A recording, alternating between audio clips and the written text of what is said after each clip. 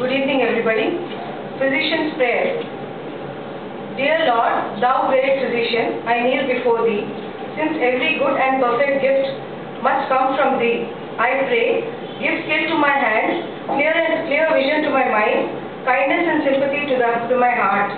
Give uh, singleness of purpose, strength to lift at least a part of the burden of my suffering fellow men, and a true realization of the privilege that is mine. Take from my heart all guile and worldliness, that with the simple faith of a child I rely on thee.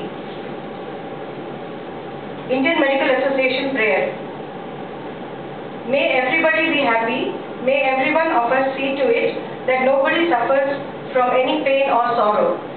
I do not ask for crown, nor I wish to be in heaven or reborn. I only want to suffering of those people who are burning in the fire of sorrow. Thank you.